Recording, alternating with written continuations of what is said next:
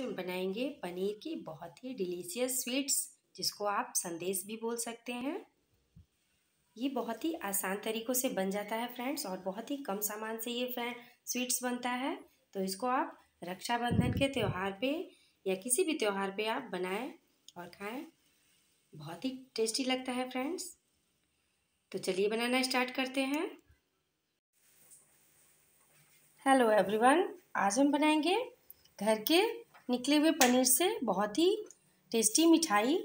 तो ये हमने 200 ग्राम 250 ग्राम के लगभग घर के दूध से पनीर को निकाल लिया है। इसको हम प्लेट में ट्रांसफ़र कर लेंगे। और अब हम एक जार लेंगे। इसमें हमने पहले से ही चीनी को पीस लिया है। तो इस मिठाई के लिए चीनी को पीसना आवश्यक है। और अब हम इसमें ये पनीर तोड़ के डाल देंगे। सारे पनीर को।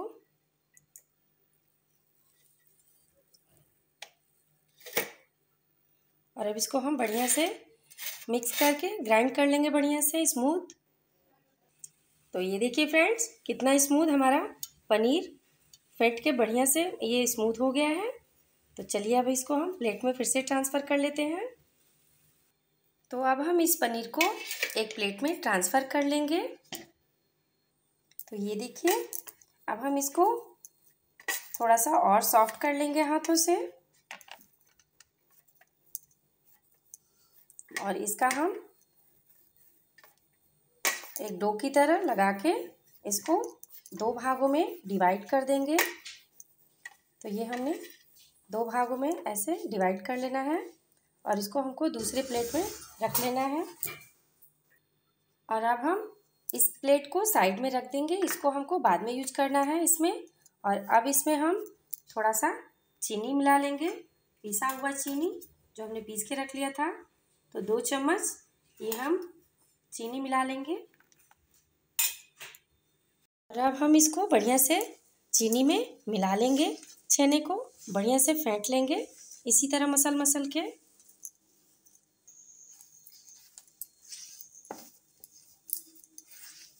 इसी तरह हमको मसल मसल के इसको बढ़िया से मिला लेना है।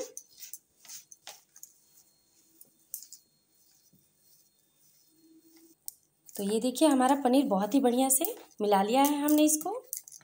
और अब हम चलते हैं अगले अगले प्रोसेस की तरफ़। बहुत ही सॉफ्ट हो गया है फ्रेंड्स और अब हम एक पैन लिए हैं और उसमें हमने एक कप दूध को डाल दिया है। और इसमें हम एक चम्मच चीनी डाल देंगे और इसको अच्छे से उबलने तक इसको अच्छे से पका लेंगे।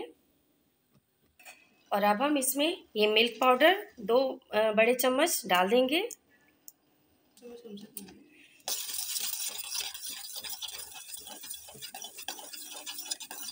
इसको बढ़िया से मिलाते हुए इसको अच्छे से पका लेंगे। इसकी जगह पे आप चाहें तो उसमें कंडेंस मिल्क का भी यूज़ कर सकते हैं। और मैं तो इसी को इसी तरह मिल्क पाउडर को इसी तरह बना के उस मिठाई में यूज़ करूँगी। इसको हम विस्लर की सहायता से बढ़िया से इसको फेंटते हुए पका लेंगे। तो ये देखिए फ्रेंड्स ये मिक्स हमारा रेडी हो चुका है। गैस को हम ऑफ़ कर देते हैं।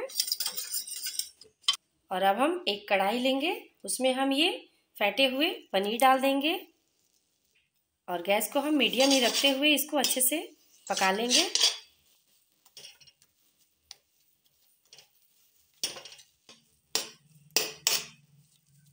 जो हम चीनी डाले थे इसमें, चीनी हमारा मेल्ट हो रहा है तो ये गीला हो रहा है पनीर धीरे धीरे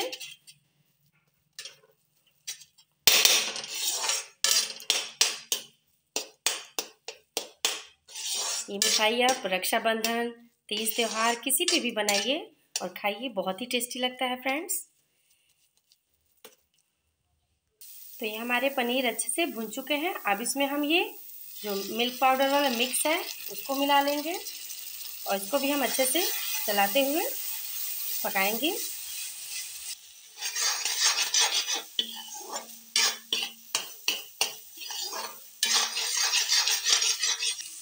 तो ये देखिए फ्रेंड्स बाइंडिंग हमारी होने लगी है पनीर की और इसमें हमारे पनीर में शाइन भी आने लगा है ऑयल रिलीज़ कर चुका है तो इस स्टेज पे हम गैस को ऑफ़ कर देंगे और हम थोड़े से ठंडा होने के लिए रख देंगे और अब इसको प्लेट में ट्रांसफ़र करके इसको ठंडा होने देंगे।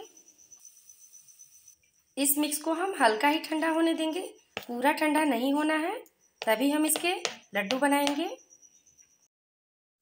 तो मिक्स हमारे थोड़े से ठंडे हो चुके हैं। अब इसमें हम ये थोड़े से इलायची के दाने डाल देंगे कूट के और ये जो पहले वाला हमने ये पनीर रखा था, इसको भी हम मिक्स कर लेंगे। और इसको अब हम बढ़िया से हाथों से मिक्स करते हुए, बढ़िया से इसका इसी तरह हमको बढ़िया से मिक्स कर लेना है।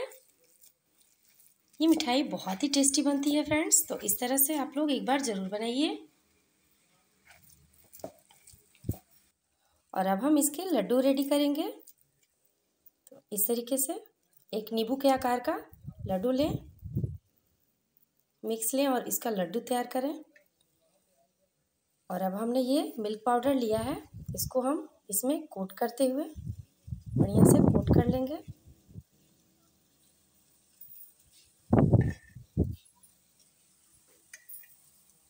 एक लड्डू हमारा रेडी हो गया है। इसी तरह हम सारे लड्डू बना लेंगे। ये तुम ऑन ही नहीं तो ये देखिए फ्रेंड्स बहुत ही सॉफ्ट सुपर सॉफ्ट मिठाई की रेसिपी आप लोग को हमने दिखाई है। तो इसी तरह आप लोग भी बनाइए और खाइए। और अगर रेसिपी अच्छी लगी हो तो लाइक सब्सक्राइब एंड शेयर करना ना भूलिए फ्रेंड्स। बहुत ही सॉफ्ट बने हुए हैं। ये लड्डू, सूखे मेवे के लड्डू, इसको आप संदेश भी बोल सकते हैं। बंगाली स्वीट्स है फ्रेंड्स तो अगर हमारी रेसिपी आपको अच्छी लगी हो तो लाइक सब्सक्राइब एंड शेयर करना ना भूलिए फ्रेंड्स अगले वीडियो में फिर मिलते हैं। तब तक के लिए take care and thank you friends